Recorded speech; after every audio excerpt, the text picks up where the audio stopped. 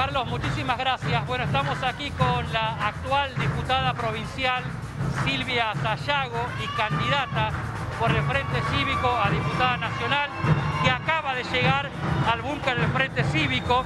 A medida que van pasando los minutos van llegando obviamente los candidatos y parte de la primera línea de funcionarios del gobierno nacional. Bueno, Silvia, ¿cómo ha vivido esta jornada cívica tan importante para los santiagueños?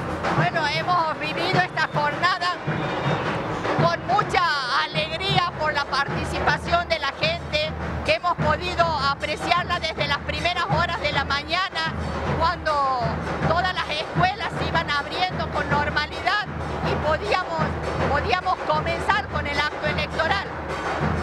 La continuación de eso que ha ocurrido en el transcurso del día, que nos ha llevado a tener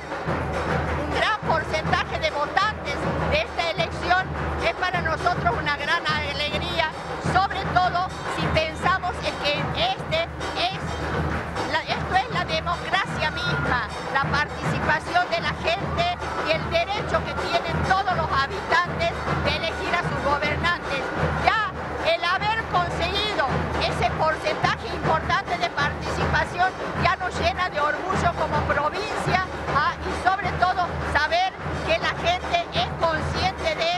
quiere participar. ¿Cómo ha sido el acto eleccionario en el interior de la provincia? Nos imaginamos que maneja números usted y cómo ha sido el panorama.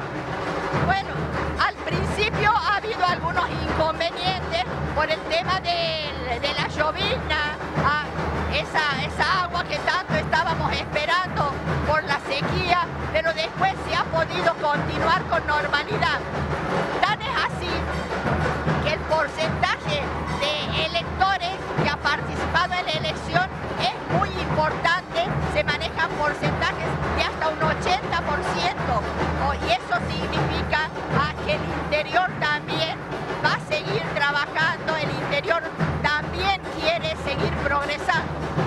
Muchísimas gracias.